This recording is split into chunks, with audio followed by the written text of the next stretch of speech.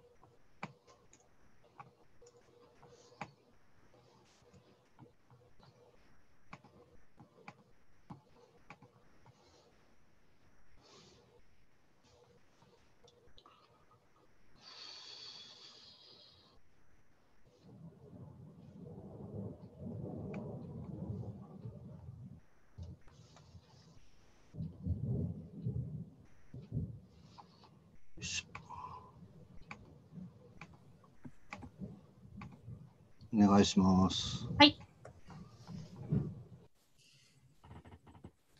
世界の皆さん、こんばんは。えここ日本は今、夕方、夜の8時です。えっ、と、それぞれの在自宅からえ今日もお届けしたいと思います。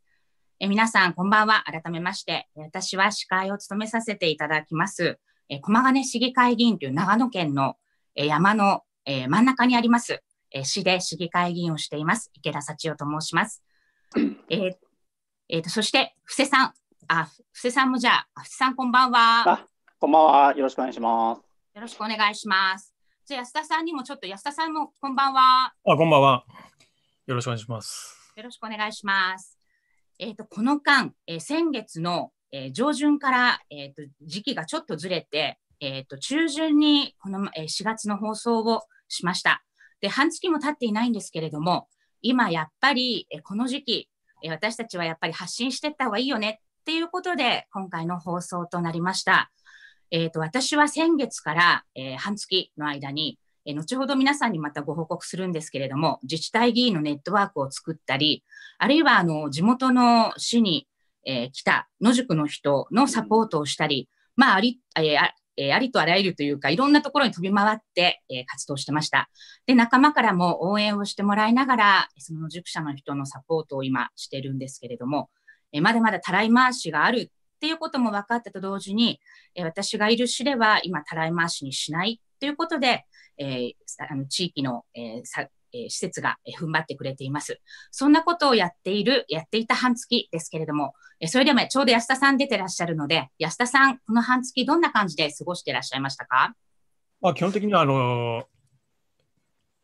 自宅待機なわけですけど、あのまあ、公園公園とかそういうものはまあほぼすべ、まあ、てかすべてあの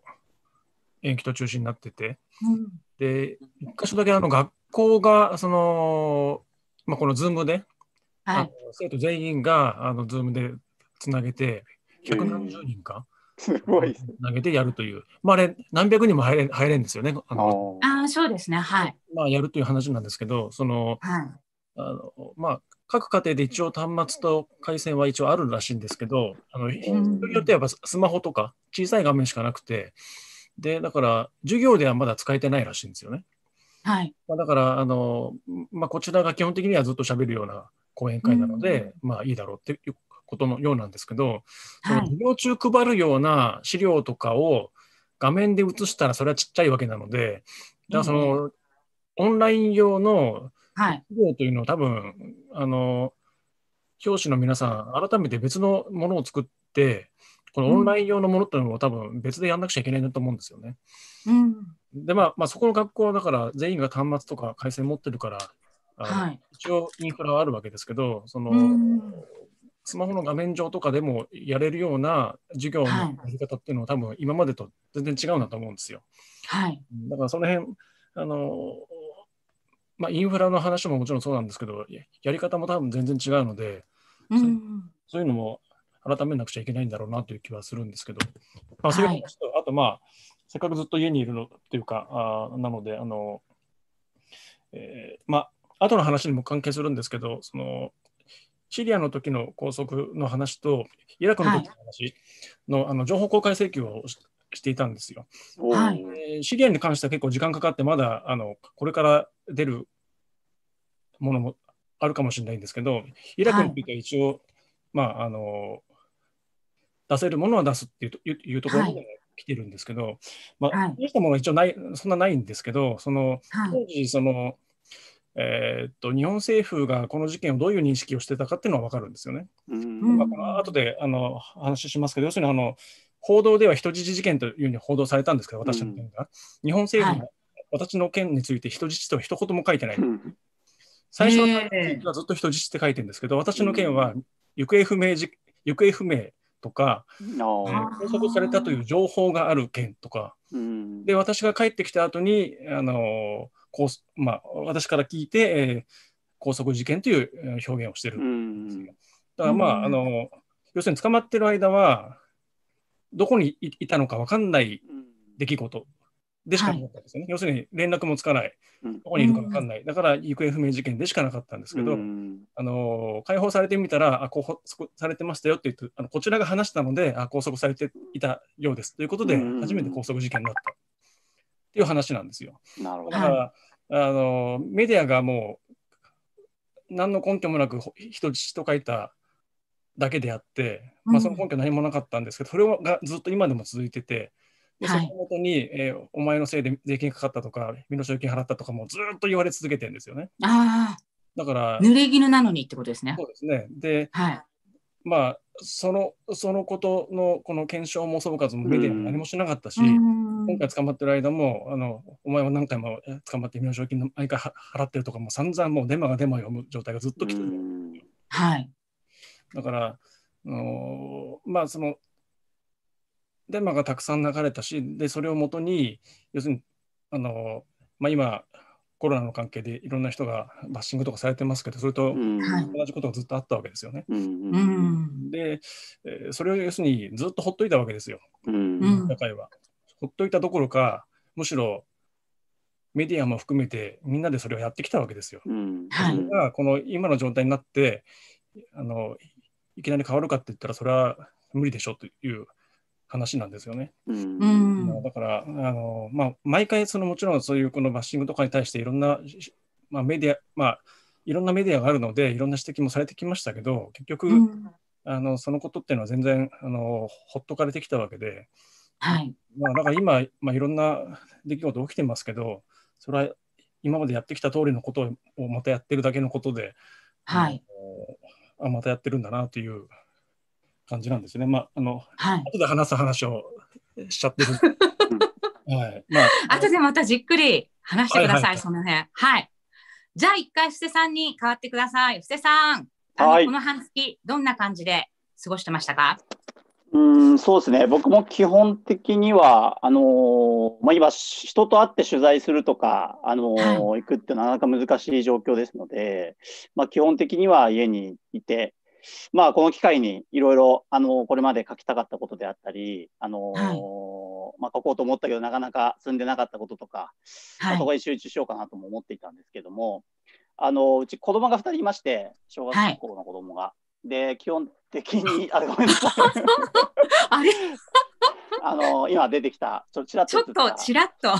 含めて、今、学校が休みになってますので、でうん3月、4月ともう2ヶ月まるっとあのお休みですので、はい。まあ、かなりストレスも溜まってきてる感じもありまして、はい。えー基本的にあの、まあ、ずっと家の中にいるとですね、あのまあ、宿題とかもあるんですけども、まあ、ええ基本ずっとゲームやってるか YouTube やってるかっていう感じではい。かなりあの健康上も良くないなというふうに思うので。ああ。まあ、午後とかはまあ公園に連れてったり、まあ、近く散歩に行ったりとかですね、まあなはい。るべく体を動かせる、動か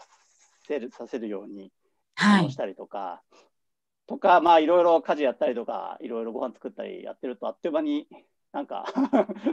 過ぎちゃいますね、一日。えーそうですね。はいよくわかります。あの、こっちはとか長野は、えっ、と、11日から、こう、なんていう、人数を分けて登校したり、はい。で、今月21日からはもう、あの、まあ、一応その登校と給食が始まるみたいな感じなんですけど、え布施さんの住まいの地域はどうですか？子供さんの学校。ー、私は横浜なんですけれども、あはい。の基本的には、えっとまあ、緊急事態宣言伸びましたし、はい特。別警戒、えー県ですか、あの神奈川県も入ってますので、えええっと4月と同様の、あのー形で、まあ、5月、はいもう1か月続くのかなというふうに思ってますけれども、はい。かなりやっぱ子どもたちにとってみれば、あのーはいもちろん感染を止めるって非常に大事なんですが、同時にこのずっと自宅にいるということでの、はい。えーもうもちろん学力とか勉強の面もそうですし、一番僕が心配したのはやっぱりあれですよね、精神的なメンタル面で、ややっぱ人と、まあ、うちなんか割と緩いというか、あのーまあ、その人と接触しないことが大事なので、まあはい。外に行って、あのーあ散歩したりとか、遊んだりする分には、あのー人と直接、あの近づかなければですね、感染するリスクはないっていうので、割とやらせてるんですけれども、まあ、家によってはもうげ真面目にこう家になるべくいて、こはい。の人とも合わせないっていう形でやられあのやっていらっしゃるご家庭もあるので、まあ、はいそうなるとかなりやっぱり子どもたちのあの精神面へのまあ影響なんかはいも気になりますよね。そそういうことも考えて、やっぱ今後、やっぱり、あのーか対策とか考えていけないんじゃないかなというふうに思いますけどね。はい。はい。じゃあ、その、えっ、と、布施さんのお話の続きで、えー緊急事態宣言の延長っていうところから、あの、パワポの、えースライドも出しながら、えーちょっとあの、話を進めていきたいと思います。えっ、と、パワポ、あ、はい、ありがとうございます。出してくださって。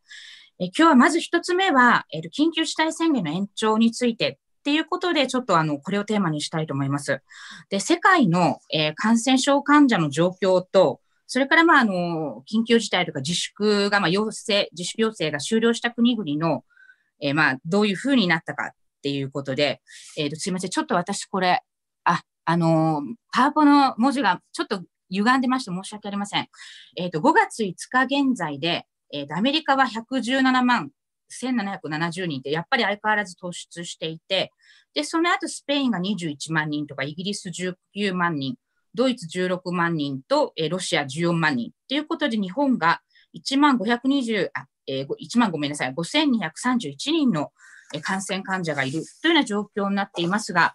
えっ、と、これ特にあの、布施さん、ちょっと PCR 検査について、あの、お話を、あの、したいというふうにおっしゃってたかと思うので、少しこの辺の PCR 検査のところからお話しいただいてもいいでしょうか？はい。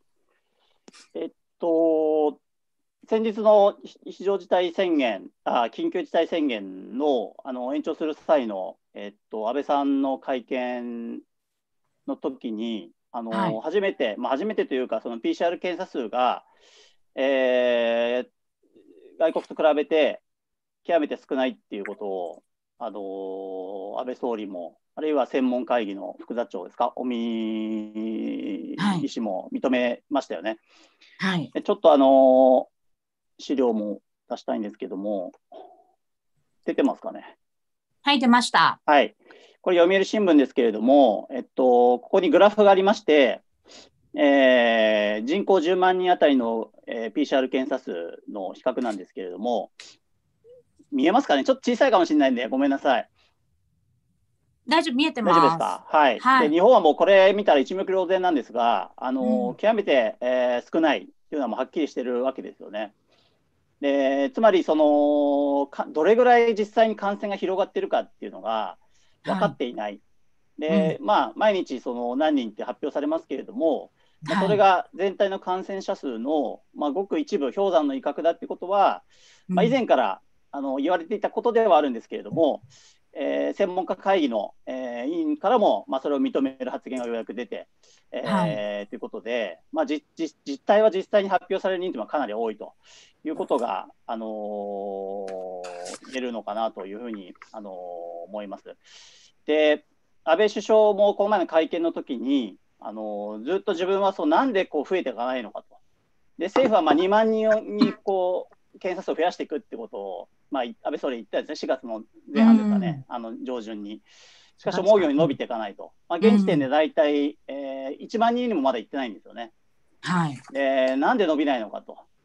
どこで目詰まりしてるしてるのかってことを何度も聞いてるんだけれども、なかなか分かんなかったってことを安倍総理も言っていて、はい。えーまあ、その理由をですね、あのーこの前の、えー専門家会議もいくつか明らかにしたんですけれども、ちょっと次の、ちょっと待ってくださいね。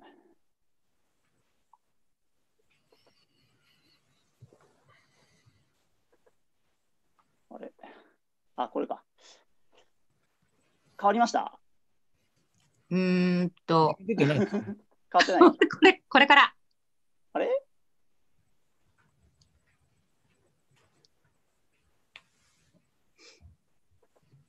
変わってないですか？まだです。まだですか？あれおかしいな。すいません、慣れてないもんで。えっと、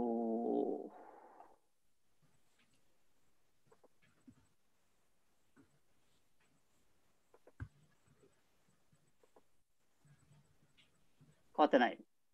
まだですね。ああれーダメですかね出てないですよね、画面が。これ今画面って何か映ってます？資料がなんか。出てないですね。あ何も映ってない。あじゃあもう一回ちょっと。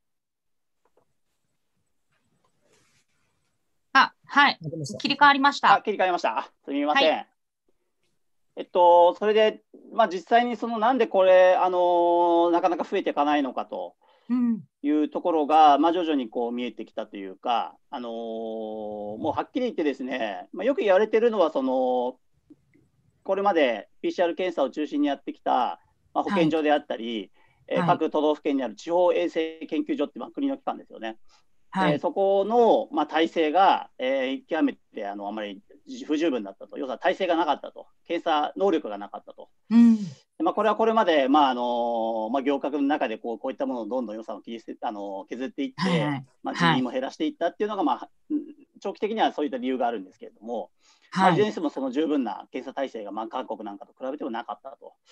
いうことで、まあ、当初はパンクしないように、明らかに症状のあるような、まあ、重症の方とかですね、人に限って、えー絞って検査をするっていうことで、まあ、クラスター対策とかですね、あの広く検査をするってことはまあできないとかスタートしたわけですよね。そうですね。うん。しかし、やがてだんだんこう感染が広がってくる中でもっとこう検査対象を広げなきゃいけないという状況になって、政府も広げていくっていうふうに言ったわけですけれども、はいまあ、。実際には全然増えていってないと。でなんで増えないのかっていうと、あのーこれ、今あの画面に出ている、えー検査の流れを見ていただくと分かるかと思うんですが、はい。えっと、これまでがその左側だったんですね。感染の疑いのある人が、まず電話でこの相談センターに電話をして、まあ、はい自分のし症状を説明をしてですね、はい。でえーそもそも病院になかなかかかれないと。いうところで、ま高いハードルがあって、なかなか検査もいかなかったっていうことなんですけども、まあ、4月以降ですね、もう一つのラインを作ったんですね。それは何かというと、地域の普段風邪をひいたり体調が悪いときに、あのー受診しているかかりつけの、まあ、クリニックとか、お医者さんにまず電話をして相談してみると。それでそのかかりつけ医の方から、そのこれは検査が必要だっていうふうになれば、その検査に回して、えー行くということをうん2つのラインを作って検査数を増やそうとしたわけですけれども、で結局これが思うようにいってないわけですよね。うん。でこれなんでいってないかっていうと、はい。結局ですね、あのーかかりつけ医の方が、はい。あのこの検査にあまり積極的になれない理由があるわけですね。はい。はい。はい。それは何かというと、もし検査、要はあの感染の疑いのある人が来て、そこで、うんあの検査あの診察をしてですね、まあ、検体を取るとか、そういう形になるときに、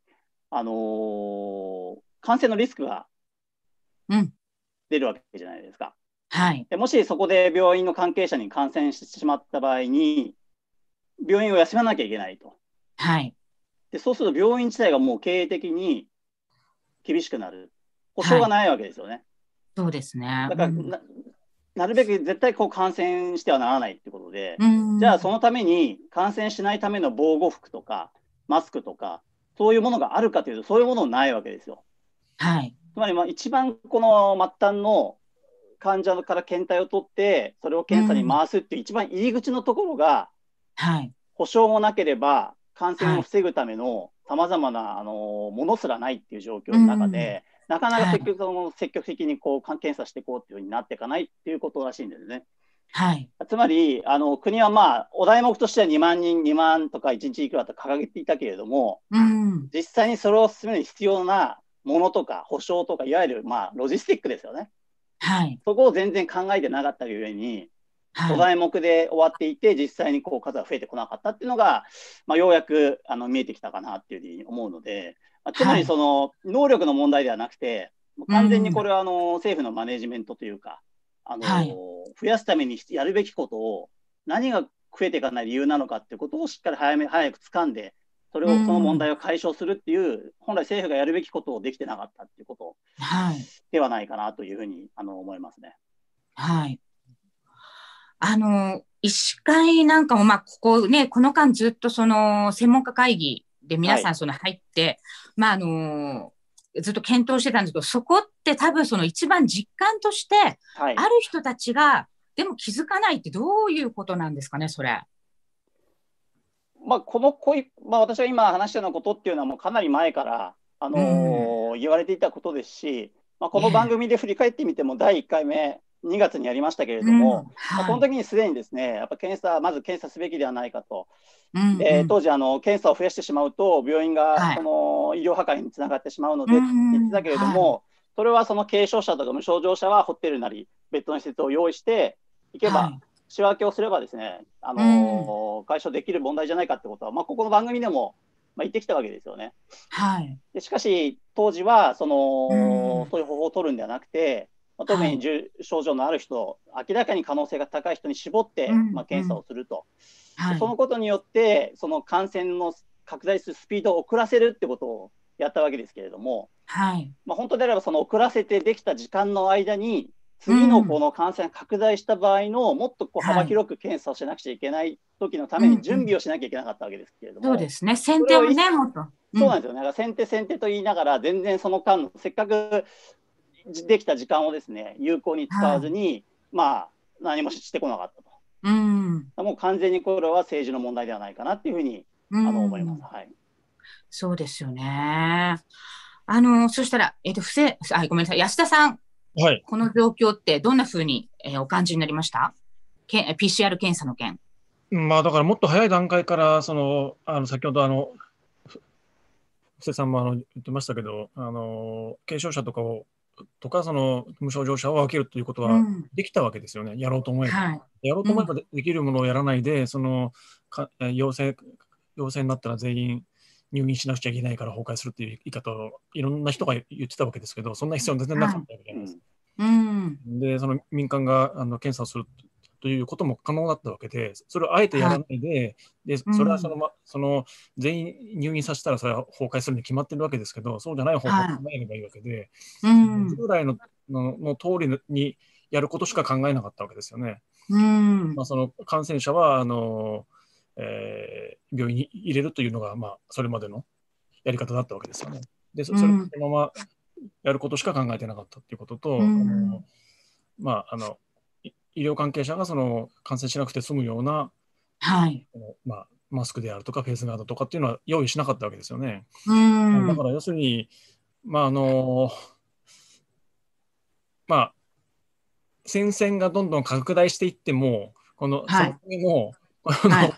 まあ、平坦が何も何もないわけですよ。うんうんはい、平坦この後方支援は戦争じゃないっていつも言ってますけど、あのはい、まあまあそれそれをややってるんですよ今でも。うんうん、あのものを準備しないとできないでしょっていうところを全然考えないっていうのは本当にこのずっと昔からやってきたこの日本の伝統芸というかですね、うん、またやってる。うんうん、いう話ですよね。うん、あの、つまりそうすると、それによって無駄に市民を、まあ、怖がらせ、それで結果感染を拡大し、で、まあ、その医療者への、まあ、差別を拡大し、あの、ロジスティックがな、整ってないということによって、医療者へのその無用なその差別みたいな負担みたいなものもかけた、みたいな。まあ、つまりすごくまずいところばっかりが出ちゃったっていうことになるかと思うんですけど、それで続きまして、あの、新型コロナ感染者へのバッシングと、まあ、過剰なメディア報道っていうことで、お二人がやはりジャーナリストなんで、ちょっとその辺のところもあの次に話を進めていきたいと思います。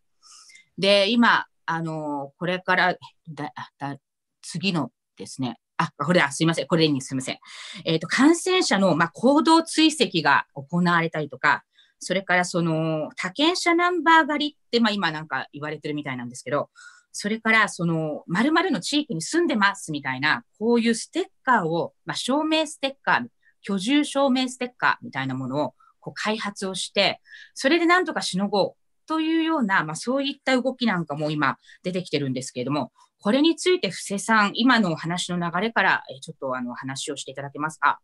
そうですね。まずあの実際にどういうことが各地で起こっているのかっていうことをちょっといくつか事例を、はい、あの紹介した上で話をしていきたいなと思うんですけれども、はい、お願いします。いですか？はい。えー、またちょっと画面をえー、っと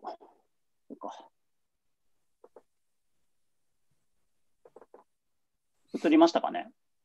あ、映りました。あはい。で、これはあの4月の22日の朝日新聞なんですけれども、えー、三重県で、えー、感染が確認された市民の家に、まあ、石が投げ込まれてガラスが割られて、壁に落書きがされるという被害が出たということで、うん、えー、これ、県知事もですねあのこういったことはあのやめるべきだと、あの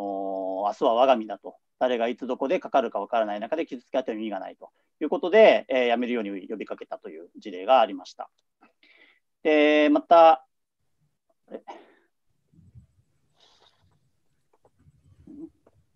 あ、変わりましたかね？変わりました。はい。でこれはあの京都の、えー、京都産業大学で感染者が、まあ、出てクラスターが発生したんですよね。はい。でその中で大学にその抗議や苦情などのメールが数百件寄せられて、うん、まあ、中には大学に火をつけるぞとかですね学生を殺しに行くぞというような、あの脅迫の、まあ、電話もあったと。でまたあの学生がその飲食店の入店を断られたりとかですね、うん、アルバイトをクビになるというケースも、まあ、実際にあったということが、まあ、報じられて、あのいます。でさらには、えー、これ福島県ですけれども、えー、福島県の、あのある高校で教員が、えー、先生がですね、あの感染されてですね、えー、そのことで、あのー、その高校生らが、えー、通学途中に、あの他校の、まあ、生徒からですかね、まあ、コロナだ、コロナだっていう感じで指をさされて、非常に、あの恐怖感を感じられ感じたっていうことも、え報道、あのされています。で、これあれですかね、あの医療従事者への差別とかまた後でやりますかね。あ、でも、あの、せっかくなんで、あの、事例をちょっと一つ、えー、事例で、はい。したいと思うんですけれども。はい、お願いします。これ、まあ、医療従事者への差別もあちこちで、あの、いろんな形で報告されてますけれども。これは、まあ、佐賀新聞に5月3日に出ていた記事で。あの、ある病院で、えー、感染者が、あの、確認されたんじゃないかと。いう、まあ、これデマなんですね。事実じゃなかったんです。えー、そういったデマが広がって、病院の関係者が、さまざまな形で、まあ、差別をされると、まあ、具体的にはあのー、その病院に勤務されている関係者の、まあ、お子さんがですね保育園で、うん、えー、まあ、ある意味隔離というか他の子どもたちと別に1人だけこう隔離をされてあのされたりとかですね、まあ、あるいはさまざまな形での、まああのー、差別であったりあるいは病院に対して、まあ、病院はあの感染者が出たってことは一言も言ってないんですけれども、まあ、そういうデマが広がって病院に対してお宅のところだろうとかですね。でこういうケースって結構他にもありまして、この病院だけじゃなくてですね、例えばの個人レベルでも、全くその感染してないにもかかわらず、そういうこうデマのようなものが流れて、あんたの家から出ただろうと、あのいうような形で、えーまあ、脅迫めいたような電話、いきなりかかってくるとかですね、そういったこともまあ報告されているということで、まあ、あの各地で、本当日本各地でですね、こういった、あのー、差別とか、あるいはバッシングっていうのが、えー、起こっているという状況じゃないかと思います。はい。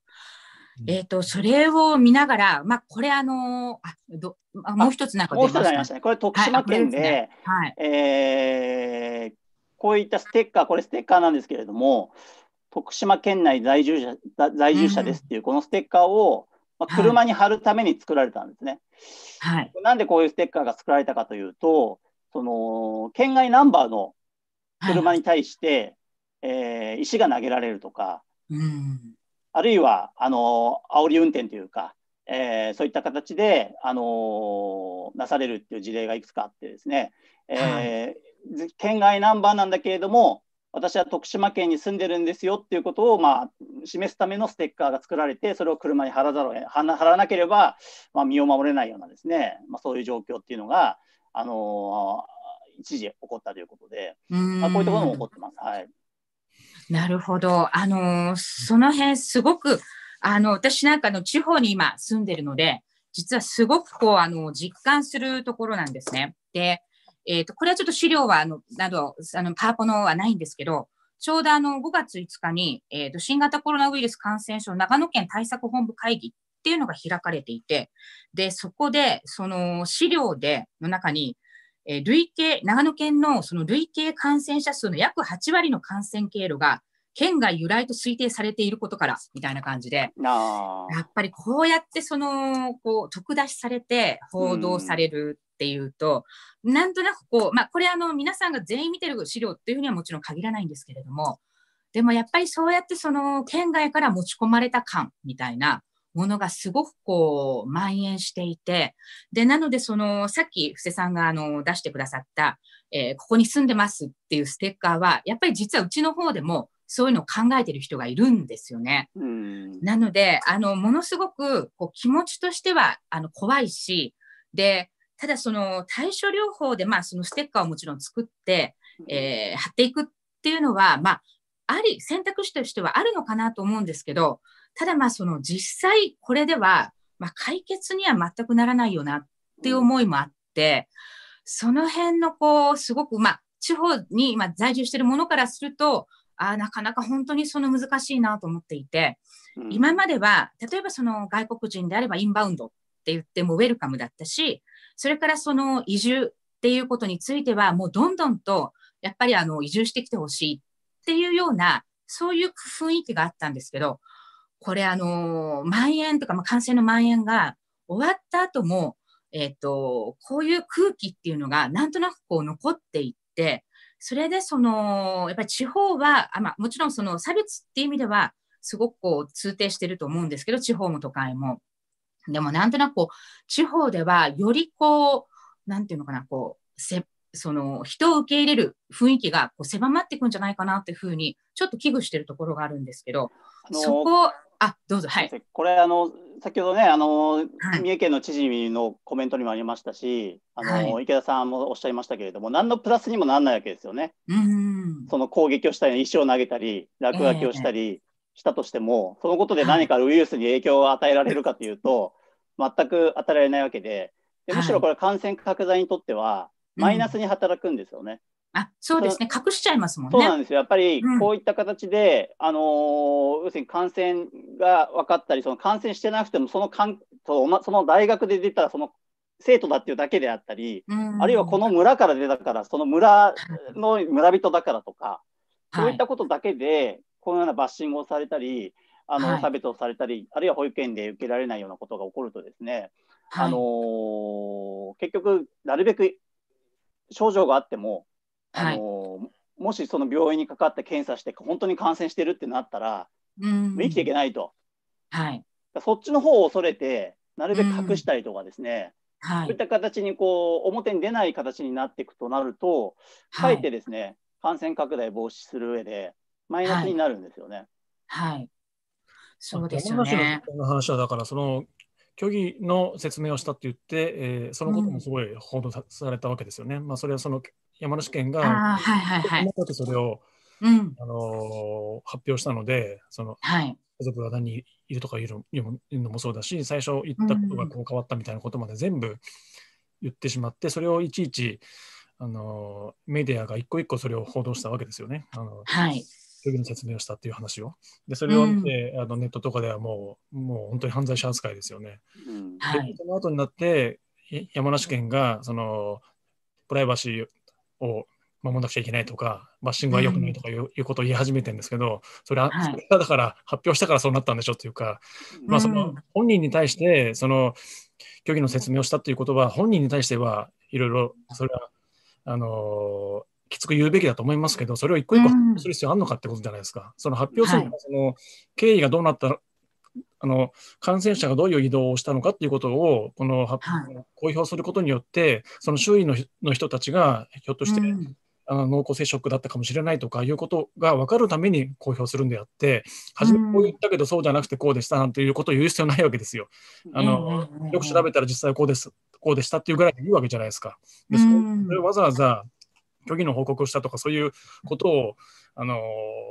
まあ発表してるから、まあ、メディアもそれをそのまま出すわけですよね。まあまあ、メディアとしては、まあ、要するに、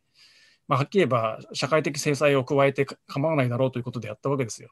はい。まあ、その自粛、まあ後でその自粛のあの話も出ると思うんですけど、要するにこの、はい、そもそもその、えー、処罰する方法がないからっていうことですけど、その代わりに公表してるわけじゃないですか。で、はい、公表してじゃあ何の効果があるかってとことこですよね。うん、公表するだけでもあの別に世の中の人々が何も反応しなければ公表する意味ってないわけじゃないですか。うん、なんで公表するかって言ったらバッシングするからですよ。はい。はっきり言えば。まあまあその、うん、えー、まあそのこの後のそのパチンコ屋とかの店名を公表するっていうのがまさにそれになるんですけど、はい、公表することによって何が起きるかっていうことを何を期待して公表してるのかっていうところを何を考えてやってるのかっていうところで、うん、この要するに罰則がないわけですよね。あの法的な罰則はないわけですけど、その、うん、わざわざ公表することによって何が起きるかって言ったら、社会的制裁が加えられるってことですよ。はい、だから罰則ををあの罰則がないけど、人々がこうんうん、あのバッシングするであろうと。でそそれに人々がバッシングされるからやめておこうという、この、えー、自自粛効果が出るだろうということを見込んでやってるわけじゃないですか。うん、そうですね。あのバッシングとか、あの誹謗中傷が起きる、はい、差別が起きるのは良くないとか言ってますけど、はい、そもそもがそういうことが起きることを見越してやってるわけですよ。国がってことですよね。行政がそういうふうにやってるわけで、うん、これはもうなくならないですよ。うんうん、でこの人々が自分たちで判断しましましょうよっていう話になっちゃってるわけですから人々がこれは良くないから叩こうとかって思っちゃってるわけですから、これはもうそのつもりでやってるわけですよ。ね、そうですね、うん、だからそれはあのやっぱりまあその罰則付きの法律にするかとか、この法律を制限するかとかってすごく慎重にやらなくちゃいけないですけど、そのところをやっぱりちゃんとやらないといけないと思うんですよね。で、はい、この人々が監視しなくちゃいけないのは、この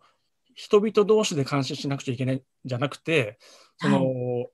まあ、明確なルールを作って、それをちゃんとした目的と、このちゃんとした経緯でそのルールを作って、でそれをちゃんと運営しているのかっていうところを監視しなくちゃいけないんであって、人間同士を監視,、監視させるっていうのはやっぱおかしいと思うんですよね。そうですよね。そうなったらやっぱり妄想していくと思うんですよ。うん。まあ、あの、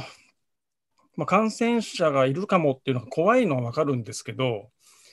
うん、まあ、まあ、怖い、怖いですからって言われちゃったらどうするのかっていうのはただね、あの その、もちろん、その、根本的には、そのかんか、あの人、近くに感染者がいるかもしれない。自分も感染するかもしれないっていう恐怖から来ると思うんですけど、よね。でその恐怖がどこから来るかっていうと、やっぱりやはり、まあ、このウイルスの特徴も、まあ、症状が出ない、無症状者が圧倒的に多い、はい、その人たちはもう普段通りの生活を送って、感染を広げてしまうリスクがあるっていう、はい、まあ、このウイルスの特徴ってのありますけれども、はい、だからこそ、広く検査をして、うん、早く感染してる人は感染し人で見つけてあかあのはっきりさせて、はい、隔離をすると、うんうんうん、いうことが本来やるべきことなんですよね。はい、今の政府はそれをやらやらないと。うん、要するにも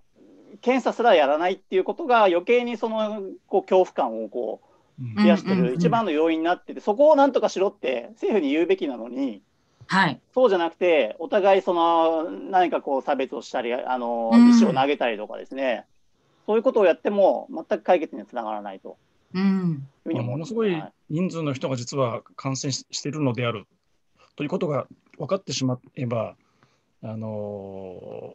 まあまあ、自分も実は感染してるかもしれないわけじゃないですか。はい。そのええうんこの待機するのはその感染しちゃいけないっていう、感染しないためというのもありますけど、そのひょっとしたら自分も感染してるかもしれないから、それを持ち出さないということですよね。はい。はい。もう誰もが感染してると思っておくべきであってう、ん。だから陽性の反応が出た人っていうのは、それがまあ症状が出て、で検査まで行ったからそれが分かったというだけで、うん。うまあ、基ん本的にはもう全員感染してるんだと思ってるぐらいの方がいいと思うんですよ。そうですね。だからそれはもう、あのー陽性になった人に対して石投げだってしょうがないわけですよね。うん石投げて自分だって感染してるかもしれないわけですよ。もう、もうだから、もうもうみんな感染しちゃってればいいと思うんですよ。まあまあ、すればいいってあれですよ。要するにそういうもんだとうんうんうん。もんだと思うんですよね。うん。だからまあ、あの、すごくこの、検査の件数絞ってきて、で、あの、でその一方で、この病気が非常にこのお恐ろしいものであるということは一方で言ってきたわけですよね。はい。えーじまあ、本当にこの実際はものすごい人数でいるはずの部分のほんの少しの人たちだけが、うんあのはっきりをすする。でもう一方では大変恐ろしい病気であるという話になったらやっぱその人たちにあのなんていうんですかねその人々のその恐れというものがその人たちにやっぱ向かっちゃうわけじゃないですか。まあ、そのうん向かってしまうこと自体が克服しなくちゃいけないものなんですけど、はい。このまあ、残念ながら今の日本社会では克服できできそうにないので、うん。とりあえずこのコロナに関しては、もう誰もが感染してて、もうもう全員感染者なんだっていうつもりでいるっていうしかもうないのかなと思ってるんですよ。うん。あのーそれで、はい。あ、すいません。じゃあ次のとこにちょっと、あのー行こうと思うんですけど、今のお話だと、やっぱりその国が結局、あの、打つべき手を打たず、それでそのウイルスの特徴によって、結局そのみんなが感染してるかもしれないけれども、わからないまま、あの、広げていて、で、まあ、それによって恐怖をあの感じていると。で、やはりその政府の責任こそ一番私たちは、えー見なきゃいけないのに、結局その政府の責任っていうのは、あのまあ、ウイルスを持っている人たち、すべてがうろうろしなくて済むように、もっと保証をきちんとしろっていうことなんだと思うんですけど、その、まあ、次のスライドというか、あの、パワポの資料にも、まあ、保証なしの店舗営業に対する、えー攻撃や民族差別や風俗差別みたいな形で、えーと結局その政府の責任を棚上げにしながら、普段の、えー差別構造がこうわっと吹き出してるみたいなところがあるんじゃないかなというふうに思うんですけど、その先ほど営業中のパチンコ店への攻撃ってまさにスケープゴートだと思っていて、うん。ここも、例えばその後の風俗業で働く人たちへの、その持続化給付金の支給の問題とか、やっぱりそのなんかスケープゴートを作って、ここが営業してるから、あの、感染を拡大してるんだ、みたいに見せてるけれども、実はまだ、あの、結局その自分たちの保証がないから働かざるを得ないっていうような、まあ、アメリカなんか特にそのエッセンシャルワーカーっていう人たちがどうしてもこう、あの人と接して働かなきゃいけないから、ものすごくその感染のリスクが高いなんていう話がうん出てますけれども、その辺について、あの、布施さんどうでしょうか？あまたちょっと実際どういうことが起こっているのかっていうはい。事例を紹介させていただきたいと思うんですけども、はい、お願いします。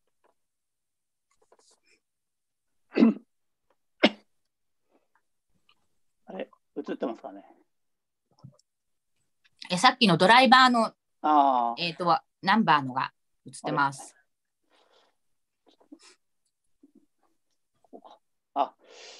僕があの気になったニュース、目についたのが5月2日付の東京新聞の夕刊に載った、はい。えーこれおそらく東京の高円寺の、まあ、ダイニングバーですね、ライブハウス、はい。まあ、多分ライブなんかもできるようなお店なのかなと思うんですけれども、まあ、そちらの店舗にこういった張り紙がされたと、はい。安全のために緊急事態宣言が終わるまでライブハウスを自粛してくださいと。次発見すれば警察を呼びますと。あの すいませんで、近所、近所の人っていうふうになりますね。はい。で、これも、あの、いわゆるコロナ自警団とか、あるいははい自粛警察という、今最近呼ばれてる、まあ、行為の一つだと思うんですけども、はい。あのこちらのお店は、いわゆるライブをやってるわけじゃないんですよね。うん。観客を集めて、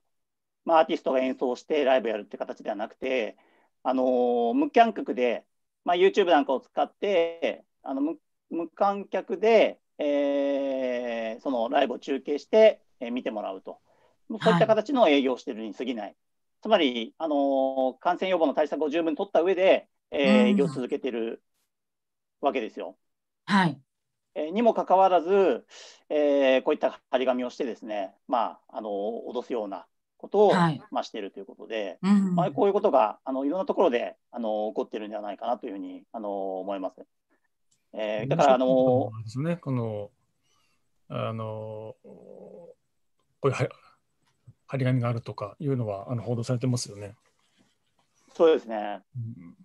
で、その報道で気になるのが、その、えーっと、飲食店のその、まあ、自粛のルールがあると、あの、はいとか、まあ、そういうのを守っているにもかかわらず、こういうはい発言がされて嫌がらせがされている。まあ、このライブハウスもそうですよね。うん。えー無観客でえー動画配信とかをやはいってる、まあ、それは自粛の対象になってないにもかかわらず、はいあの嫌がらせがあるえ。にもかかわらずの話なんですよ。えだから、あのまあ、それはにもかかわらずっていうのはもちろん問題なんですけど、うん。ささっきのその店名公表もそうですけど、そのじゃあ、にもかかわらずじゃない人だったらいいいいんじゃないのって話にやっぱなっちゃうと思うんですよね。ーうんうんそのえーまあ、こういう自粛警察っていうのは、このもうあるものあるものと思って、えーまあ、その人たちがやってくれるだろうというのはやっぱ見見越した法律になってて見越してやってんだと思いますよやっぱり。うん。まあ、だからその報道の、まあ、もちろん一個一個報道してるのでその、まあ、要するに、えー濡れ衣のなわけですよ基本的にはね。まあ、だからその、うんルール守ってるにもかかわらずっていうのはもちろんそうなんですけど、あのそもそもが、その、えーまあ、この、バッシングとか嫌がらせをすること自体が良くないわけで、はい。うん。そもそもが。守っ、ルール守ってようと守ってなかろうと、その、うん。死刑、要するにこの私の刑を加えることっていうのは、あのやっちゃいけないことだと思うんですよね。うん。そこをちゃんとはっきりさせないといけないと思うんですよ。うんまあ、だから結局そのこっちのこの人に対してはよくてこの人はダメなんだとか言い始めたら結局自分の判断でこの人ダメだろうって言ってうんやっちゃってるわけじゃないですか。そのこと自体がダメなんだっていうことをはっきりさせないといけないと思うんですよね。うんあのーお二人ジャーナリストなんでちょっと伺いたいんですけど、その、例えば薬物依存症の報道とかだったら、その、報道ガイドラインみたいなものが、あのー作られてるじゃないですか。で、例えばその新型コロナのか感染症に関して、報道ガイドラインっていうのはあるんですか？ちょっと聞いたことない。どうなんですかね？聞いたことないですねさんの方聞いたことない。うんああ。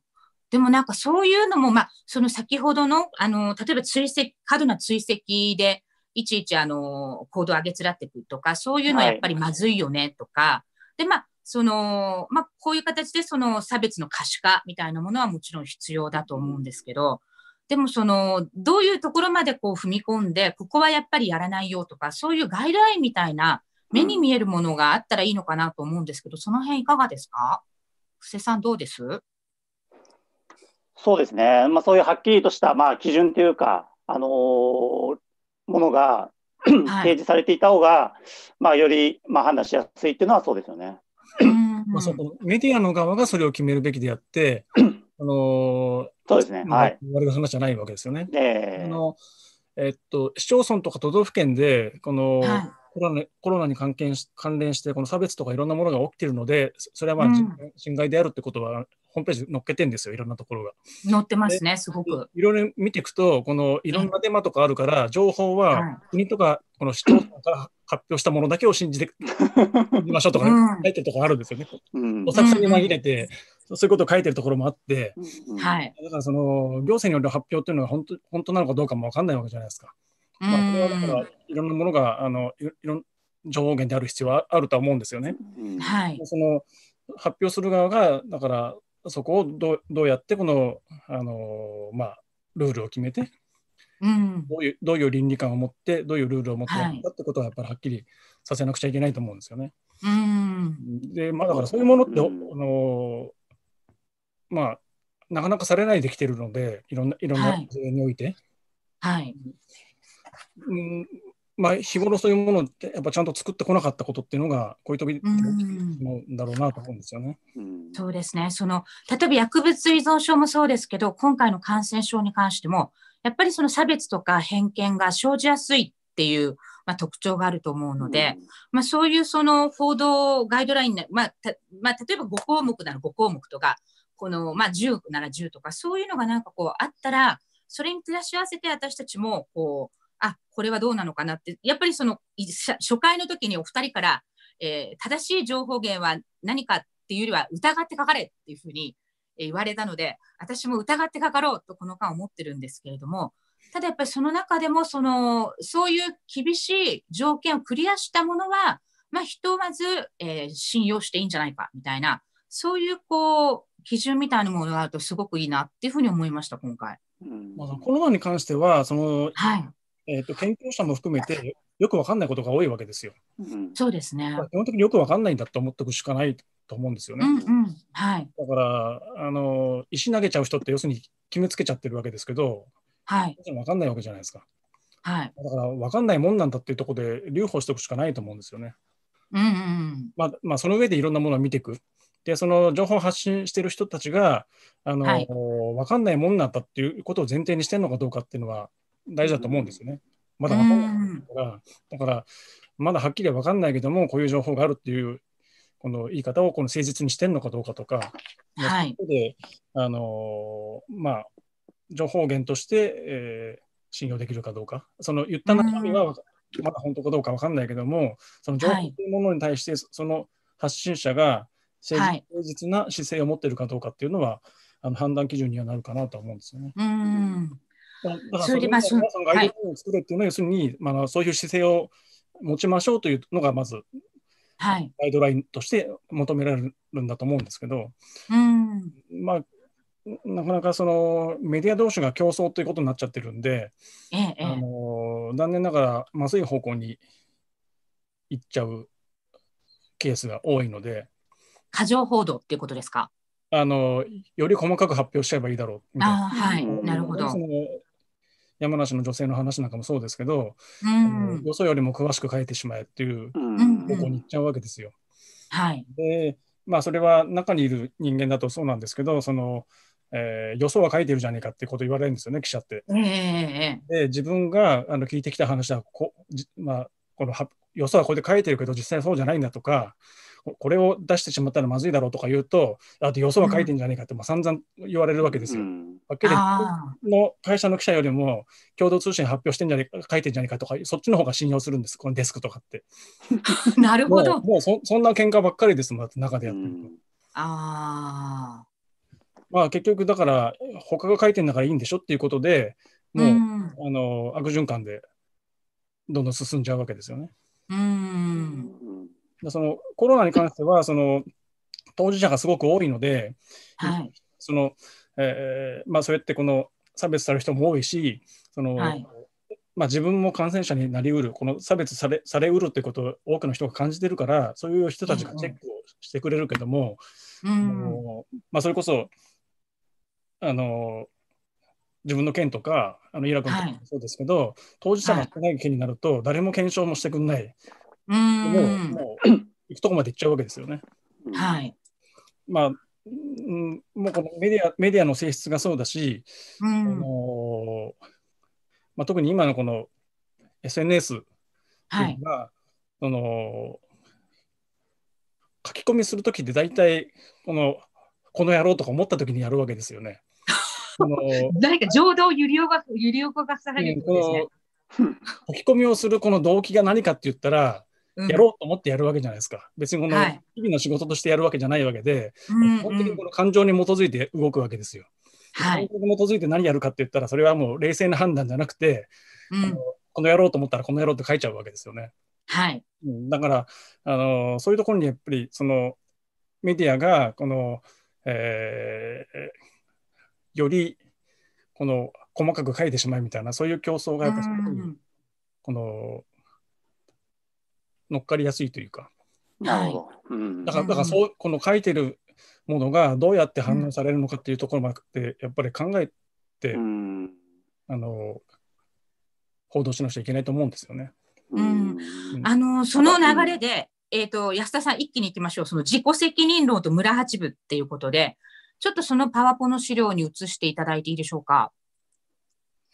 あのー安田さんの立場って実はすごくなかなかこう稀有な立場だと思っていて、えージャーナリストとしてその報道の内側にもいたし、それからその当事者としてバッシングをされる立場でもあったと思うんですけど、やっぱりここはあのいろんなその話を見てると、みんなその自分の正義みたいなものに基づいて、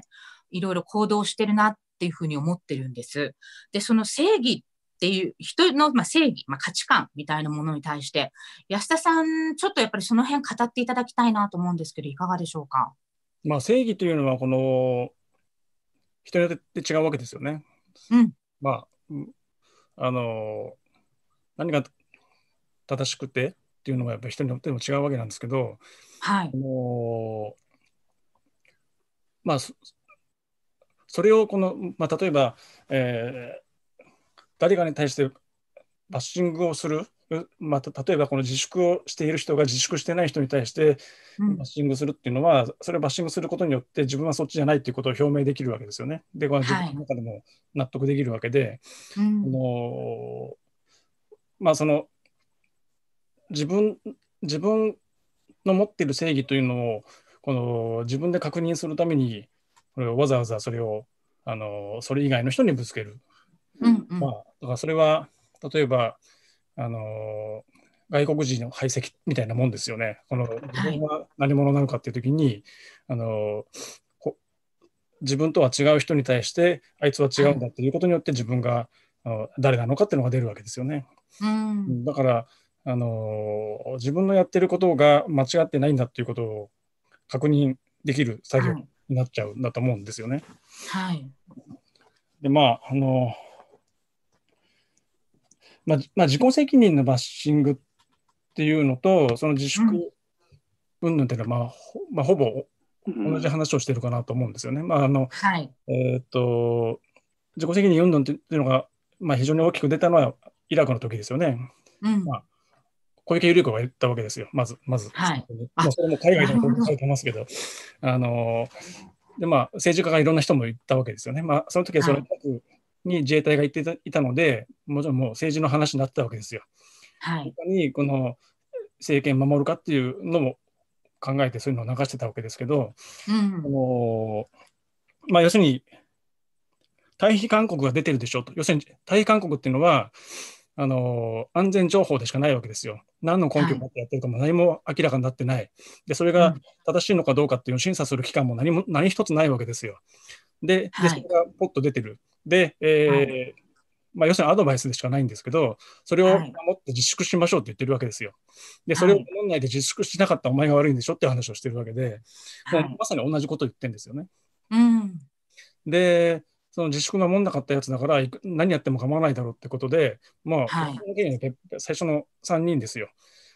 もうメディアの人々は家、まあ、この間話したかもしれないですけど、メディアの人々が勝手に家に上がり込んで、勝手にパソコン立ち上げてとかやってたわけですよ。はもう犯罪者扱いどころじゃないですよ。あ。うん。そんなことやってきてたわけで、でそのことについて彼らが何にも検証も何もしてないですよ。ど自分たちがどういう報道をしたのかとか、どういうことをうやったん。で、まあ、その人たちがこの今回のそのコロナで差別が起きているとかいろいろ言ってて、お前お前らがやってきたこと何なんだっていうと、うん感情がこのこの1ヶ月ぐらいずっとあってですね、うんはい。ずっとやってきたことをこのずっとほっといたどころか、自分たちがずっとそれを煽ってきたわけですよ。それがその当事者があの、まあ、本当に数人しかいなかったから、まあうんまあ、別にいいだろうと思ってたかもしれないですけど、このまあ、今回のように誰が当事者なのか分かんないところになって、手に負えなくなってる状態なわけですよね。うん。ででこの状態になってからあの、まあ、良くないですよって言ったって、それは今今までの積み重ねがずっと来てこれやってるわけですから、うんはいこ。れは、ままあ、すぐには変わらないというか、まあまあ、当然の反応というか、うんもちろんその誰もが当事者になりうる場面なので、あのはい今変われるチャンスではあるんですよね。うんうん。まあ、だからそういう意味ではもちろんそのの、えーまあまあ、継承という段階じゃないですよねもう起きちゃってるわけですからね。はい、このまあ、それが問題なんだっていうことを今言うのはすごく意味のあることかなとは思ってはいるんですけど、うん。そのまあ、とにかくその根拠は何なのかとかはい。その検証してるのかとかうん。そういうところがこれからされるかっていうとあのあんまり期待できないじゃないですか。これまでだうん。これまでのそのコロナの対策だってどういう根拠があって、えー、っていうところの説明がちゃんとさされてないわけですもんね。はい。だからこれができてないと、あのーまあ、デマも広まりやすいし、うん。事実関係がはっきりすれば、それに対するこの判断とか解釈とか、そのはいどうそれに対してどう態度を持つかっていういうことが、まあ、判断しやすいわけですけど、そのはい。分かんないものだから怖がるわけじゃないですか。はい。だからその分かるようにしていく。でその行動のこの方針を、まああの明らかにしていくことによって克服されてくるわけで、うん。やっぱりその、まあ、検証であるとか、まあ、そういうものをちゃんとやるやれっていうのが、まあ、すごく大事だと思うんですよね。はい。はい、布施さんいかがですか？うん、そうですね。あのー、まあ、安田さんのお話も伺って、あのー、安田さんが拘束された時の、まあ、メディアの、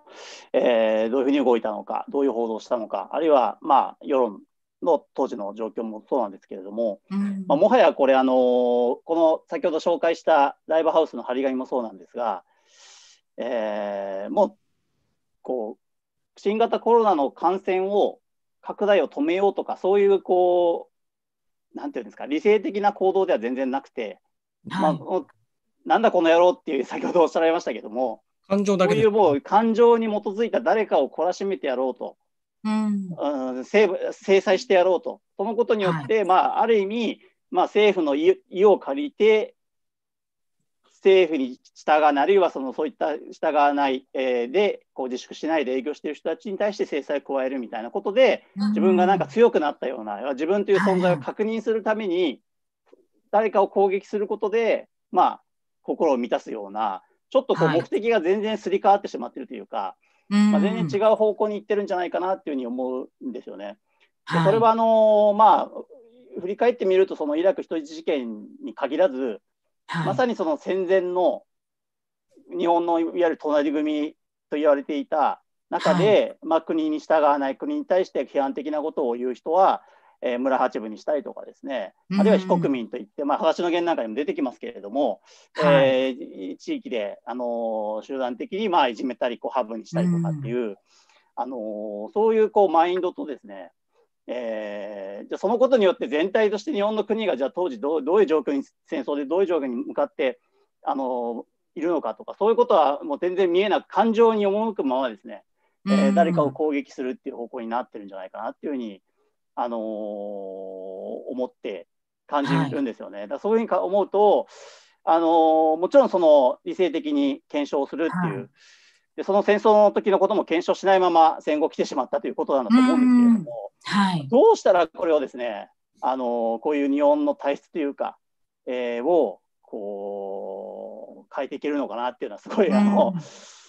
思い思いますよね。はい。本当にそうですね。私もあのいろいろ考えると、やっぱりその安倍晋三氏も結局その戦前から続く権力者の系譜だし、まあその2世や3世みんな、結局政治家がそういうその戦前からずっと権力を持っている人たちの、まあこう身内でずっと固められてきてるっていうことが、まああのこういうその村社会の温存みたいなことにすごくこう、あの寄与してるんだなっていうふうに感じることが多いです。でやっぱりあの特にあの選挙なんかでも例えばその都会は都市部はえ風みたいのが吹くんですけどもう地方はほとんど風みたいなものがないんですよね。で私もあの本当にこう、まあ、この地元出身だっていうことでここでなんとかあのかろうじて議席をいただくことできましたけど多分その、まあ、よそ者みたいな、えー存在に対する抵抗感っていうのはすごくあるだろうなっていうことはいろんなところで感じることがあります。ただ、まあ、あの同時にやっぱりその地域からあの、そういう雰囲気を変えていきたいなと思って、しっかり根を張って活動していこうっていうふうに思ってるんですけど、なので、私自身は、その、結構これからはあの地方が鍵かなっていうふうに感じてるんですけど、その辺ってどうですか？安田さん。まあ、あ、さん、あの長野県であの新聞記者やってたんで、そうですよね、はい。隣組っていうのはあるじゃないですか。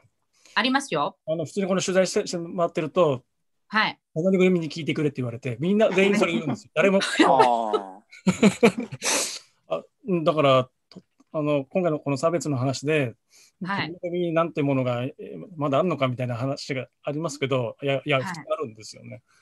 うん、まあ、まあ、本当にだから、地方はやっぱりそういうものがすごく残ってるし、まあ、よそ者、うん、よそ者に対する、あのまあ、排除もあるし、その、はい、その内部の人に対しても、その、要するに、裏切り者みたいな扱いにされるともう大変なことになる。はい。あの、もう選挙とか、選挙とかも大変なわけじゃないですか。大変です。はい。もう本当に、一票のレベルで誰がどこに入れたかも全部ばれちゃうような社会じゃないですか。うん、まあ、うん、そこまでど、あ、でも、まあ、そう、そういうところもあるかもしれないですね。あのー、まあ、だって、村とかの議会になると50票とかで投票しちゃうわけあ当選しちゃうじゃないですか。はい。まあ、だから50票だから、要するに、あまあ、基本、あれ、前もこれ話したかもしれないですけど、あの村が村があって、もう,、もう議員なんて、この、まあ、はっきり言えば名誉職ですから、うん、まあ、まあ、市とか大きくなっていくとまた変わってくるんですけど、うん、あのもう地区単位で持ち回りでやってるわけですよ。で、この地区の中で、はい、地区の中でさらにブロック分けをして、この、はい、ブロックの中で持ち回り。はい。まあ、だからその、なんとかさんに何票入るともう全部分かってるんですよ。はい。でそでそれがおかしくなると誰が裏切ったんだって話になって、はい、裏切りを,、をこの、うん、探すわけですよね。で、はい、あるまあ昔の話で聞きましたけどある日突然ある人が首を吊るみたいな。うん、どこまで？あ長野県の話で聞きましたよそれは。あもうだからあの寝たきりのお年寄りを第八車に乗っけて、今度、投票させたりとか、そういうこともやってきたし、はい、まあまあ、本当にこの、あのまあ、まあ、その地方のそういうこの厳しさってもちろんありますよね。でも長野県って、でもあの社会党が強かったですよね、昔は。で社会昔はそうでしょうね。うん、で、この共産党の市長が出たりとか、はい、いうことも起きてたので、まああのまあ、そういうこの保守的なそう保守的って要するにこの、えー、なんだ自民とかそういう話じゃなくて本当に昔からのこの村の保守的なのはあるけど、うん、あのそうじゃないものもいろいろあって、まあ、そういう意味でまあ面白いところであったんですけど、うん、このまあ、そういうこの地域社会の厳しさもももちろんありますよね。うん、でもそれがそのあの人も減っちゃってで新しい人が入ってこないとやっていけないようになってきて、でもそれがもう変わらざるを得ないんだと思うんですよね。はい。それはもう、あの新しく入ってきた人に、隣組がうんぬんとか言ったって、それはもう入ってこれないわけだし、まあ、そういうことやってたら、もう本当にこの地域がおかしくなっちゃうわけだから、はい、そのもう崩壊の近くまで行ったっていうのは、ある意味強みだと思うんですよね。うん自分たちの社会を変えていくための。うん、うん、だからまあ、その地方がそのえー、過疎とかいろんなことがあって、えーまあ、すごく大変な時代を経験しているので、まあ、そこから帰っていくことはできるでしょうし、はいうん、今回のコロナによっても、まあ、いろんな、あのー、なんですかね、えー、ものが変わりうると思うので、はい、まず、まあ、そうですね、まあ、地方の方がそういうのが変わりやすいのかなという気は。あ、なん。かあのーね、その誰か他者をですね、他者を攻撃したり、バッシングしたり、叩いたりすることで、自分の存在を確認したり、うん、あのー、自分の心を満たすっていうマインドっていうのが、実はまあかつての戦争の時も、あのよくあの太平洋戦争とか、まあ、戦争に暴走したのは、はい、当時は民主主義じゃなくて、はい、あの言論の自由とかも報道とかも全部制限されて、はい、ものが言えなかったからそうなったっていうようなことで言われるんですけれども、はい。最初は全然そうじゃなくて、はい。まあ、あのーあれですよね、あのー満州事変の頃とかはですね、はい。かなり言論会でも、まあ、割とその自分の意見を表明する自由もあって、うん。で結局どう、なんで変わっていったかっていうと、結局、あそこで中国を懲らしめるみたいな形で、はい。あの日本軍がどんどんこう戦線を拡大していって、まあ、はい勝利を重ねていくわけですよね。はい。でそこで日本の世論がもう湧いたわけですよ。うん。要するに中国を懲らしめてる日本っていうものに対して、こう心を満たしていくようなマインドがあって、はい。でそれをなるべくリアルの細かい戦争の戦況を報道合戦したんですね、メディアは。なるべく具体的に日本がどうやって中国でこう戦闘して勝ったかっていうのを、はい。戦争報道を競い合ったわけですよ。はい。で、戦争報道を競い合うためには、やっぱり軍との協力関係がないと、うん。情報を取れないと、従軍取材もさせてもらえないと。はい。そういうことで、自らメディアが軍と、まあ、一体化していって、このあ。延長線上の中にだんだん報道の自由が規制されていくっていううん。流れがあるわけですよね。はい。で結局、誰かをこう攻撃したり、懲らしめたりすることによって自分の心を満たすっていう、まあ、民主の熱狂みたいのにメディアも乗っかれば、よりぶ新聞の部数も増えると。うん。視聴率も、まあ、当時は視聴率じゃないですけども、新聞の部数ですけども、もうどんどん部数が拡大していったんですよね。朝日はい朝日にしても、毎日にしても。はい。そういうので今、先ほどのあの安田さんの話はすごく重なるなと思ったんですね。うん。そこ本当はメディアが歯止めをかけなきゃいけないのに、メディアが煽ってしまう。でこれ非常に危ないなとはい。思いますね。はい。やっぱこの自粛してて、このし仕事があの、まあ、思うようにできない人っていうのは多いと思うんですよね。はい。でこの誰かを攻撃することによって、この自分自身が確認できるっていう話をしましたけど、そのあの自分っていうのが何者なのかっていうのは、はい。本来は自分が何をやってるのか、うん。自分がやってきたことととか、その自分の考えとかいうものによってでこの出来出来上がっていくわけですよ。うんはい。自分がどういう人間なのかっていうのうは。だかん。らその一生懸命仕事をしてる人っていうのは、あの一生懸命仕事をすることによって、自分がどういう人間なのかということを日々実感できているわけですけど、あはい。の仕事とかがうまくいかないとか、あうん。まあ、まさにこの自粛状態になってくると、この自分自身が何者なのかっていうことを確認するこの術がなくなってっちゃうわけですよね。はい。だからそのそそういうものをこの持ちたい人とかほど、うんあのまあそういう誰かを攻撃するとか、うん攻撃したいというよりやっぱりこの自分がこのちゃんと自粛をしてるんだとか、うん。まあ、そういうこの自分自身を確認したいというこの、まあ、まあ欲求というかはい。それはあってもおかしくないと思うんですよ誰でも、うん誰でもあるものだと思うんですけど、はそい。のまあそれをこのな何もしないでいるのではなくてこのやっぱん何かをやるのがいいと思うんですよね。うん。それはあの多分このままずっと待ってたっていつ終わるか分かんないわけだし、うんはい。これまでの通りのことができるか分かんないわけだし、うんはい。をどうやってやるのかっていうことを、まあ、考えるとか、まあ、全然違うことをやるとか、うんうん。あの何か違うことをやることによって、はい。まあ、なんですかね、えーこの何かを作ってるとか、そういうこの、うん。のなんていうんですかね、えー自分のやってることの意味を確認できるような何かをやるっていうのがやっぱすごく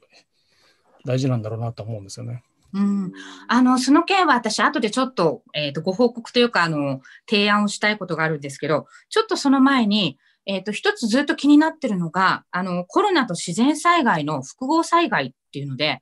ちょっと今、あの、最近東京というか、まあ、関東も、それから私の住んでる長野県、あの、中部地方も、すごくあの、地震が多いんですね。で、さっきもあの、大大雨というか、まあ、台風、あ、台風じゃない、ごめんなさい。大雨があったりとかして、で、そういうその複合災害に対して、まあ、あの、お二人ちょっとどういうふうに、例えば備えてるかとか、あるいはあの、どういうふうに考えてるかとか、ちょっと布施さんから教えてくださいますか？はい。あの、こっちも昨日夜ですね、深夜寝てる時には何時ぐらいだったですかね。あの、1時千葉とか2時県で震度4ですかね、地震があったり、数日前も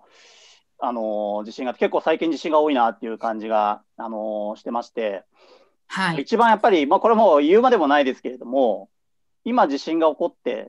避難所に避難しなければいけないような事態になったときに、この感染症の問題がある中で、避難所っていうのは一番、特に日本のような避難所のスタイルだとですね、要するに体育館にも雑魚寝みたいな形だと、はい。一番こう感染のリスクが高いうんスタイルでずーっと、まあこれはいろいろ問題だ、もっと改善した方がいいってことはずっと言われ続けてたわけですけれども、今のところずっとあのスタイルで来てるわけですから、はい。かなり危ないと思うので、うん今のうちに、で、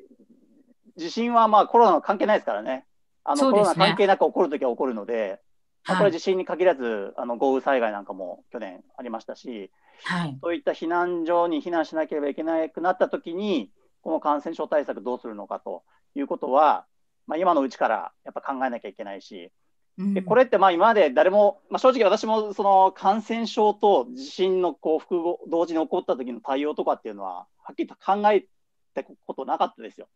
はい。そういう意味で新しい事態にどう対応するのかっていう、まあ、考えてた人は考えてたんでしょうけれども、事態はい。なので、あのこれ非常に、まあ、ある種クリエイティブなというか、あのうんどう対応するのかってことをみんなで知恵を出し合って、やっぱはいり。考える時だと思うし、まあ、先ほどの話で言うと、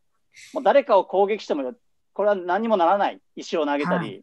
自分の心はいその時だけスカッとするかもしれないけれども、はい。全体的には何のプラスにもならないわけで、はい。そういうことで心を満たすんじゃなくて、はい何か政府の対応で足りないところであったり、問題があったら、それをみんなでこう変えていくという方がよほどこう建設的だし、生産的だし、クリエイティブだと思うので、ま。何何かやったらいいと思うので、そのうちの一つとして、別にこれに限りませんけれども、そのうちの一つとして、やっぱりその、まあ、先ほどで言うと、PCR 検査を政府にちゃんともっとさせるとかですね、あるいは保証をさせるとか、うん。今回、今、危惧されているようなこの地震であったりとはい。感染症が複合合わさった時のリスクに対してちゃんと備えるように、国に対して対応を求めていったり、はい。そういうことをどんどんやっていく時期時なんじゃないかなというふうに思います。はい。そうですよね。あの、今日ちょうどツイッター見てたら、その防災グッズの点検みたいな、そういうのがあの結構トレンドに上がってたんですけど、ああのはい。つじゃあ、釣り安田さんいかがですか、あの災害とか起きたら、またこの今起きてるこのバッシングとか差別とかがものすごく起きるんじゃないかという気がして、えーまあ、だから今あの、その差別の話とかバッシングの話とかをちゃんとやっておくっていうのはあのうん大事だと思うんですよね。はい。うん、まあそうですね。まあその災害とかになったらあのコロナの話どころじゃなくなるかもしれないですけどね。はい。うん。で、だから、まあ本当に大災害になった場合というのは、その、医療の体制もそちらの対応だけでも大変なことになってくるので、うん。うん、コロナに関してはまだ、あの、家とか壊れるわけじゃないし、うん。この、あのまあ収入はなくなってしまったりとかしてますけど、はい。あのまだ寝る場所ととか一応あるわけですけど、地震とかになるとそれもなくなってしまうわけなので、はい。うーん、多分コロナどころじゃなくななくなりそうな気がするんですけどね、まあ、それがあるうん程度その、まあ、あのシリアとかの難民キャンプとか、あの避難民キャンプとか、あのコロナ対策をやってるわけですけど、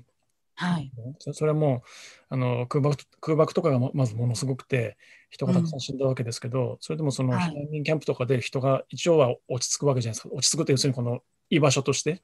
はい。居場所として落ち着いた時になって初めて、そのコロナも大変だということに、まあ、気づくというか、まあまあ、コロナはい後から来たもんなので、まあ、はい。難民キャンプから見たら、まあはい後から後からその対策しなきゃって話になるはなるんですけど、やっぱはい。第一の問問題として、空爆されるから逃げなくちゃいけないわけなので、うん。そっちの方がやっぱり大きな問題だったわけですから、はい。うんうん多分コロナ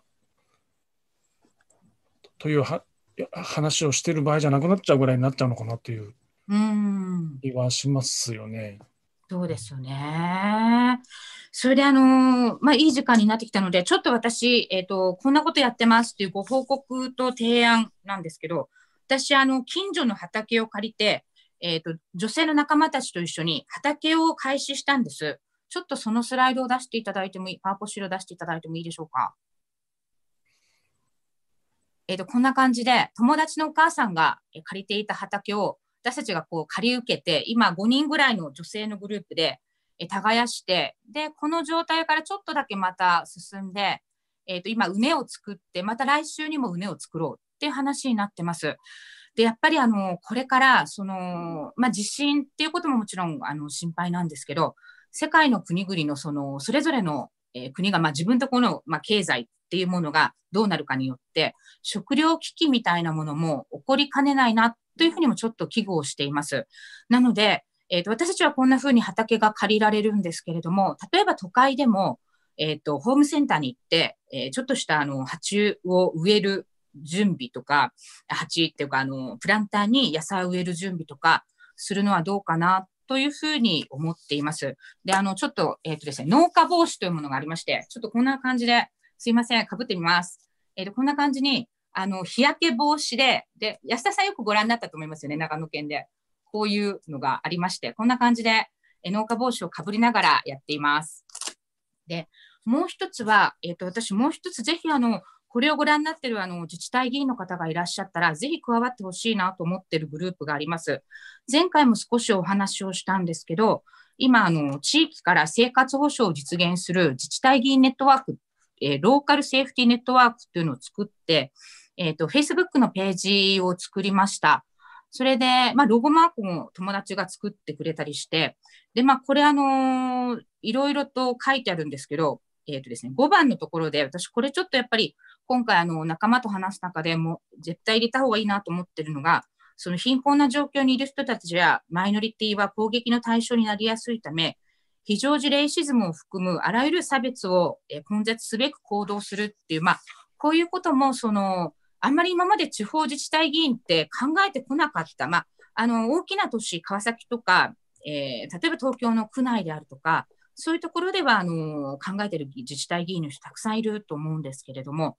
やっぱりまだまだ、あの、差別とか、あの、排除みたいなものに対して、えー自治体議員も学んでない、えー自治えー経験値が上がってないなというふうに思うので、そういうのをぜひ、あの、みんなで、あの、ネットワーク組むことで、あの、上げていって、やはりその地域で起こる、まあ、排除とか、あるいは攻撃とか、あの、自粛警察とか、まあ、村八部みたいな、そういう人たちに対して、あそういうまあ行動ですね。行動に対して、しっかりと地域地域で歯止めになっていかれるような、そういう感じのことをぜひあのやっていきたいというふうに考えて今動いています。で、あの、特に、えっ、と、今、えっ、と、まあ、例えばそのネット、えカフェ、ネネカフェにいた、ネットカフェにいた人たちが、え出ざるを得ないっていうことで、それでまあ、あの、特に都内や、あとあるいはあの関西圏の仲間たちは、みんな、あの、もうずっと動き通しで、あの、SOS に対して対応してるんですけれども、まあ、ぜひ、あの、これから地方でもそういう動きが必要になってくるかなというふうに思っているので、あの、私たちもやっていきたいと思ってます。で、あの、大体いい時間になってきましたので、一言ずつ、あの、二人からいただいて、あの、終わりにしていきたいと思うんですが、安田さんいかがでしょうか？今日の放送を通じて、最後にもう一回これ言っとこうみたいなことがありましたら、おっしゃってください。そうですね、まあ、あの、ああの自分の話はあんまりしないようにあししようかなと思って、えーいるんですけど、まあ、どうしてもあれなんですけど、あの事実関係をちゃんとし知ることはやっぱ大事なんですよ。うん、はい。そのえーやっぱし知らないから怖いわけだし、あの知らないから差別とかもするし、あのバッシングもするわけなので、はい。とにかくこの、えちゃんと知ることで、えーうんし知らし知らないんだったら知らないということをちゃんと分かること。はい。もう基本的にやっぱ物を知らないわけですよ、みんな。それ他の、はい自分も含めてですよ。人間ってのはやっぱ全てのものを知ってるわけじゃないので、基本的には分かんないんだっていうことをちゃんと分かってることってすごく大事だと思うんですよね。はい。まあ、あの、コロナなんてまさに誰も分かんないもんなわけですから、うあん。の分かんないもんだから、とにかく、あの、まあ、慎重にしておくこと、うん。うん、だと思うんですね。で、その、はい。えーうんそうですね、まあ、うん。で、まあ、あの、まあ、学校でその、えー、童話教育とかありましたよ、昔。はい。で、あの自分は埼玉なので、埼玉の、まあ、団地ですから、まあ、はっきり言って、みんな地方から来てて、本当にこの昔からのそういうものっていうのはほとんどない場所だったので、なんでこんな教育するんだろうっていうのはもちろんありましたけど、はい、結局その、あのー、今そういうものないでしょみたいなこと言う人いますけど、はい、今やってるわけじゃないですか、まさにそれを。うん、だからなんでそういう教育をやるのかって言ったら、その、はい、要するにこのブラック差別とかいうだけじゃなくて、人間というのは、こうやってこの差別しうるものなので、はい、だからそういうもんなんだっていうことをちゃんとあの認識しておくこと、だからこの差別される側にいつ回るかもわからないよっていうだけじゃなくて、いつ自分が差別するかわかんない、うん、いつでも自分は人を差別しうるんだということを、はい、あの認識しておくことが大事なんだなということはすごく思うんですよね。うん、あのこうじゃないのっていうふうに思ったことがあの、はい、実はあの、まあ、非常に偏見があったりとか、はい、可能性ってもちろんあるわけなのでこのまあいつ差別されるか分かんないっていうのはやっぱ恐怖になっていくわけですけど、はい、それだけじゃなくて、えー、する側にもなりうるということをやっぱ考えるべきかなと思うんですね。はい、はいでは、布施さん、いかがでしょうか？はい。あのー、よく安田さんが講演なんかでもおっしゃることで、僕は何度か聞いたことがあるんですが、うん、あのよく自己責任論ってバッシングがあったじゃないですか。はい、で安田さんよくあの自己責任論当たり前あ自己責任論なんてのは当たり前だと。うん、つまりじ自己責任論の前提には自由ってものがあるわけですよね。自由の中で自分で考えて自分で決断をして自分で行動すると。その行動の結果については自分で責任を負うという、うん、自由とセットになってるものが自己責任論じゃないですか。はい、日本の場合はその実は自己責任論っていうのはいわゆるそのなんなんていうんですかね。お上に従って動くっていうことだけで本当の意味の自由っていうのが本当にあるのかっていうことが、すごい今あのこのコロナの中でも、はい、あのー、考えさせられるんですよね。でやっぱりあの、はい、まあ、このコロナに乗じて憲法のあの緊急事態条項を作るべきだと、ええ、もっと、えー、人々の自由をこう取り締まって規制をして、まあ、感染症対策するべきだみたいな議論もあるじゃないですか。ありますね。はい。だから、あのー、もちろんそういうふうに、そういった議論にそっちの方向に行くのは分かるんですけれども、同時にやっぱり自由っていうものについて、やっぱりこう考えていかなきゃいけないんじゃないかなっていうふうに、あのー思いますし、はい、あの特にそのやっぱり自由っていうのはこの守っていかなければ守れないもんだと思うんですよね。はい、今回で言うと例えばその、まあ、先ほどの話で言うと、まあ、国の意を借りて国に従わない、はい、自粛に従わない人を攻撃することで何かこう留飲を下げたりこう心を満たしたりっていうマインドがあるとしても、はい、結局そのお上が間違ってたらですね、間違ってたら、あるいは無能で無能、ちゃんとやるべきことをやってなかったら、はい、自分たちの自由であったり、あるいは命であったり、そういったものも守っていけないっていうのが今、このコロナの中でも分かってきてると思うんですよね。はい、そういう意味でやっぱりその、まあ、自己責任論って非常に自己責任論が非常にこうなんていうか歪んでこの 10, 10年以上使われてきたと思うので、ええ、あのやっぱりその自由とあるいはその自分たちの命だったり権利を守っていくためには、はい、そのお上に言うことにただ従属しているというかあの従っているだけでは守れないんだっていう、はい、自由を守るためにもやっぱり言う国に対してお上に対して言うべきことを言っていく、はい、ということを、まあ、当たり前にしていきたいなと、あのいうふうに思いまして。で最近あの見かけたやつで一つちょっと写真をお見せしたいんですけれども。はいお願いします。あれ。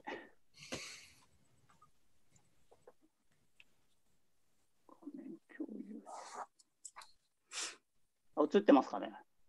えー、っと、まだですね。と、これ、ちょっと待ってくださいね。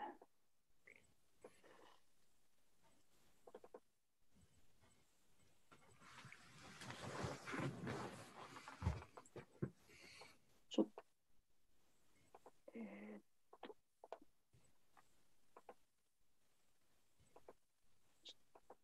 あ、これか。あ、ごめんなさい。えー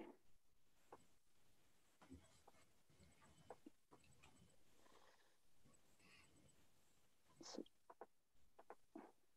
出ました？かねん？まだです。出てない。え まだ、はい。あれどうして？おかしいな。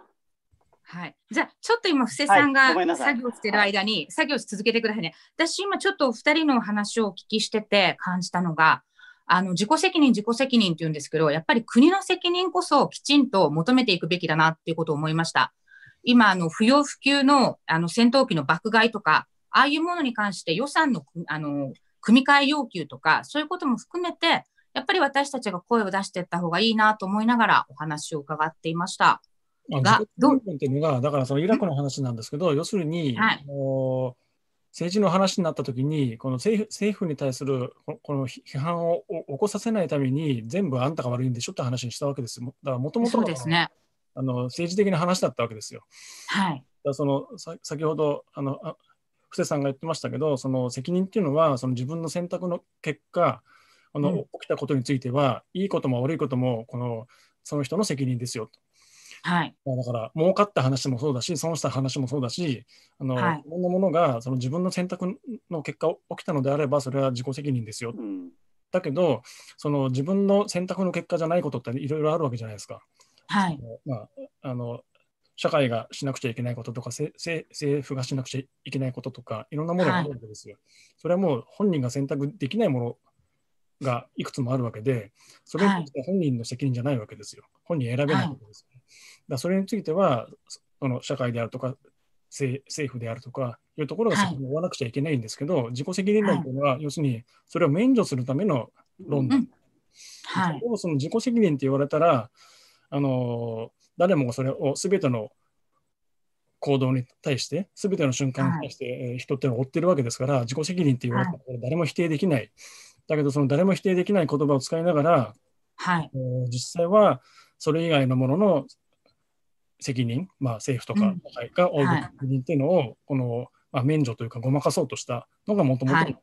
自己責任論なわけで、それはもう今ではい言われてるのは、まあまあ、ずっとそれなわけですよね。はい。自己責任、まあ自己責任は当たり前なんですけど、だからそそうじゃない話をはい。しちゃいけないというのはまあ当たり前の話なんですよね。その、はい。えーうん、まあそうそういうことですよね。はい。布施さんどうですか、はい出ましたあ大丈夫かです。大丈夫です。はい。お願いし出ま。ますしたかね？ああ、えっ、と、なんかちょっと途中な感じもする。でも、はい。わかります。えっ、と、これか。今出たみはい。あ、出ました、出ました。はい。まあ、言いたいことはこれですね。奈良新聞が、あの広告で、えーこういう広告を出されたみたいで、今見ていること、今聞いていること、今感じていることを忘れずに次の選挙に行こうといはい。う広告を出されて、これ非常に素晴らしいなと思ったんですけども、はいやっぱりそのいろんな形でやっぱりこのコロナをきっかけに、まあ、ポストコロナっていうことも言われてますけれども、やっぱはい。りこれ先ほどの農業、食の問題どうするんだと、うん。6割以上外国に頼っていて、こういう緊急の時にはい。私たちの食を守っていけるのかっていうことも含めて、まあいろんな形でこの日本の国の社会の在り方とかが、まあこれでいいのかっていうのが、まあ、今回見えてきたこと結構あると思うんですよね。はい。まあ、それはメディアの在り方とかも含めて、で差別にしてもその、やっぱりこれはおかこういった差別をしても何のプラスにならないじゃないかと、吊るし上げないようなことをしても何のプラスにならないじゃないかってことを、一応その、まあ、安田さんの時はメディアが加担する側にあったかもしれないけれども、今回はまあそれは問題だっていうことを提起する側にいるわけじゃないですか。はい。そういう形でやっぱり、これまでのやっぱり問題だったとこを変えていく一つの契機にしなきゃいけないと思いますし、まはいあそ。の一つの大きなあの私たちが自分たちで選択できる、はい。自分で決めれるものが、一つがこの選挙だと思うので、はい。やっぱり今の政治を作っているのが、まあ、あの今の自民党にしろ、実は国民の中ではし投票している人っていうのは本当に少数なわけですよね。圧倒的多数は投票所に足を運ばないっていう、はい。非常に残念な状況だと思うので、やっぱりこの政治に参加していくっていうことを、やっはい。ぱりこれを機に、あのそういう国に変わっていったらいいんじゃないかなというふうに思いますね。はい。すっごく賛成です。ありがとうございます。すごく大きいですよね。そのやっぱりあの東北の震災だってやっぱ東北の話だったわけで、うん。まあ、それが今ああの、まあ、全ての人がその対象対象になってきたっていうことなので、はい。うんまあそれはやっぱりここで変わらないとやっぱりあの今回これで変わんなかったら本当いつ変わるのっていうぐらいのはい。話かなと思いますね。はい。あ一つだけいいですか、あのーはい。お願いします安。田さんがその自己責任論批判で、自己責任論っていうのは本来、個々が責任を負えないことに関して国、個人ではどうしようもないことに対して国がセーフティーネットであったり、国が責任を負うっていうことを、まあ、責任から逃れるための、あのー考え方だったってことをおっしゃったんですけども、もう一つ僕はあると思ってて、でそれは、まあ、先ほどちょっと繰り返しではあるんですが、自分で実は自分で自分のことを決めれる国になってますかっていうことなんですよね。うん村八部とか法律的に許されていることでも要はみんな同じような行動を求めたりとかうん本当に一人一人の選択っていうのを尊重する社会になっているのかっていうところがもう一つ問われてるんじゃないかなと思うんですよね。でそういうものがないからこそ常に何か自分で決めるチャンスがない与えられてないことから何かこう他者を攻撃して自分を確認するっていう方向に行かざるを得ないっていうところもあると思うので、うんその自由、我々私たちがこう自由をどうあの行使していくのかっていうことも、もう一つ考えたいテーマかなというふうに思ってます。はい。責任論って要するにこう自己責任だろって言ってバッシングすることによって結局その個人の要するにこのみみんなと違うことやったらお前が悪いんでしょって話になってるので。結局その、要するにこれみんなが自粛してんのにお前自粛してないお前が悪いんだろうとか、うんうんまあ、結局要するにみんなと同じことしなさいって言ってるわけですよ。そうなんですよね。みんなと同じことやったらそれはもう自分の選択じゃなくなってくるわけでそれはもうじうん自己責任の否定になっていくわけですけどだから自己責任論っていうのは要するに自己自己責任なんか取らせないぞって話なんですよねそうそうなんですよ実。際は。はい。うん。だからその自己責任論っていうのはすごいあのまずい言葉を作っちゃったうんわけですよね。まあ、まあ本当に昔のメディアってそういうこのワンフレーズに従ってワンフレーズでそれっぽいものを作ればねまあ、それでこのブームを作ってことをやってきちゃったわけですけど、自己責任論って言葉を作ったのっていうのは本当に非常に罪な言葉を作っちゃったんですけど、うん。まあ、だからその人間ってその自由であるためにいろんなものを作ってきたと思うんですよ。うんまあ政府だってそうじゃん。まあ、全てのものはいかにみんなが自由であるかのために存在すると思うんですよね。まあ、そのとかだってそうじゃないですか。だからその、あのいかにこの自由な状態っていうのをこの維持できるかっていうことをこの考えてないと、まあ、その全員の行動を完璧に決めてしまって全員がそれに従っていけばそれは感染防げるかもしれないですけどそれって何の意味があるんですかっていう、全体主義ですからうね。ん、うん自由じゃなくなってしまったら意味がないわけじゃないですか。うんうん。そこはだから、あのーまあ、じ自由である、ままあ、今いろんな人がこの自由じゃない状態になってるわけですけど、その自由であるっていうことが、あのいかに大事なものなのかっていうことを、あのーよく考えたいなという、よく考えてほしいなというとこですよね。はい。そしたら、あの、だいぶいい時間になりましたので、はいまた、あの、来月も引き続きいろいろと掘り下げて、あの、本当に見てくださった方たちと、もやもやがきゅあの共有されたかったかとか、あるいは、あの、疑問が、ちょっとこう、なんとなく、あ、ここだったんだっていうふうにヒントが得られたとか、それからまた、あの、あ、よし、これをやってみようみたいなヒントが、えー一つでも、えー得られたとしたら、すごくありがたいと思います。では、あの、また6月も多分、引き続きこういうズーム、このズームの形になるかもしれませんけれども、またあの来月も皆様とあのお会いしたいと思います。本日もご覧くださいまして、どうもありがとうございました。